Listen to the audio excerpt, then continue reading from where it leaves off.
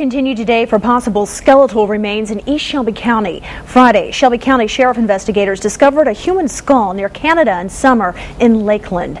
Today, they found even more evidence that a body at some point had been left there. Fox 13's Scott Mattis was at the scene as they searched for more clues. Using four wheelers and rakes behind these gates early Sunday morning into late afternoon, nearly 30 members of the Shelby County Sheriff's Office gathered in this wooded area after discovering a human skull here Friday. Anytime that uh, you, you find human remains like that, it, it's certainly a crime scene. And because of that, investigative teams sectioned off the privately owned property using search and rescue canine to find more pieces to the puzzle that have detectives wondering who the remains belong to and how they got there. The skull was just resting uh, there in the woods, and um, again, some of the, the bones that, that uh, the detectives and the emergency services workers found uh, nearby were just kind of there along with it. All the way up to the knee. Sunday's weather on the wet side made work for Shelby County Emergency Service crews tedious as mud soon outweighed sheer water. But it was the moisture that aided the specially trained dogs as they looked for more human remains.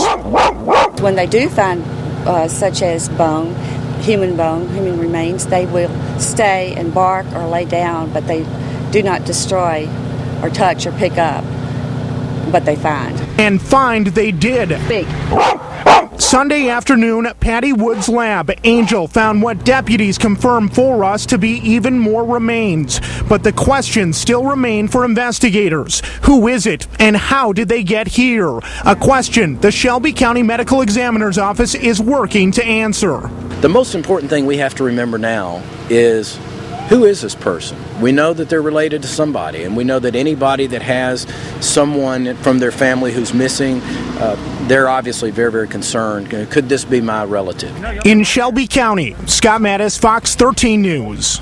Now, 20 bones have been discovered at the site since the search began Friday night. Fox 13 attempted to speak with the property owner, but the owner wasn't home when we arrived. Deputies say the owners are cooperating with the investigation and do not believe they are involved.